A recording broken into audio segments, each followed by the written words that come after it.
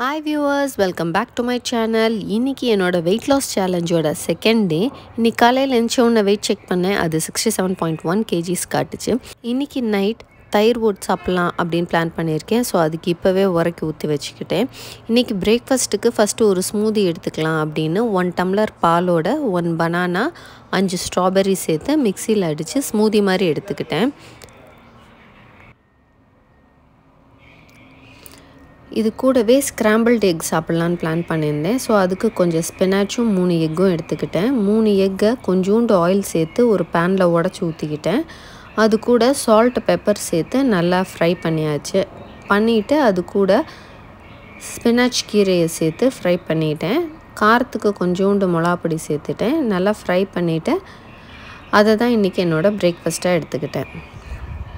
அடுத்ததாக லஞ்சுக்கு one cup ரைஸும் பொடலங்காய் கூட்டும் எடுத்துக்கிட்டேன். அது கூட மோரும் எடுத்துக்கிட்டேன்.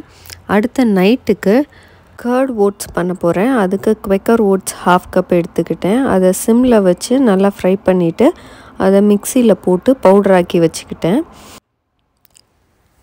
இதை நீங்கள் நிறையா குவான்டிட்டியில் செஞ்சு டப்பாலையும் ஸ்டோர் பண்ணி வச்சுக்கலாம். நைட் ஈஸியாக இருக்கும். ஒரு நாலு ஸ்பூன் எடுத்து தயிரில் போட்டு மிக்ஸ் பண்ணி சாப்பிட்டுக்கிறதுக்கு.